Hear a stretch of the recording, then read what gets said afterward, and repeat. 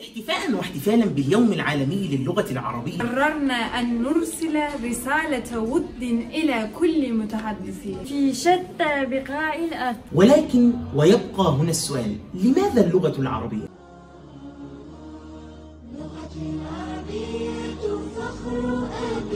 اللغة العربية تعد من أقدم اللغات في العالم. نبعت أهمية اللغة العربية بسبب نزول آخر معجزة في الأرض وهي القرآن الكريم. ويكفينا حقا أنها لغة خاتم الأنبياء والمرسلين. سيدنا محمد صلى الله عليه وسلم. وكذلك لا تتم أي صلاة إلا باللغة العربية. كما تعد اللغة العربية من أغنى اللغات وأكثرها غزارة. فمن جذر الكلمة الواحدة نستطيع استخراج العديد من الصفات والأفعال.